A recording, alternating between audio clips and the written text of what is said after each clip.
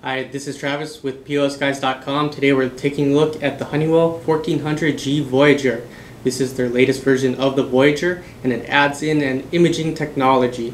This Voyager is available in a 1D model, a PDF417 capable model, and a full 2D capable model. Uh, with the imaging technology, you get the ability to scan different types of barcodes.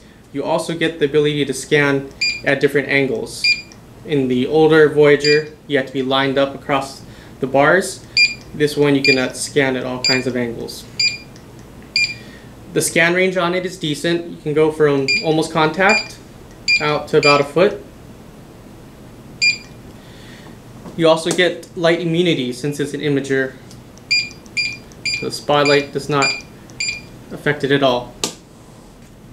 With the newer, stronger scan engine, you also get more durability. So the IP seal is a little higher on this, as well as the drop spec. It's still a 5 foot drop spec, but they're able to drop it 30 times without any problem. Your stand options, you have the rigid stand that's available in the current Voyager. Uh, you also have a gooseneck stand that adds a little more flexibility if you want to go that way.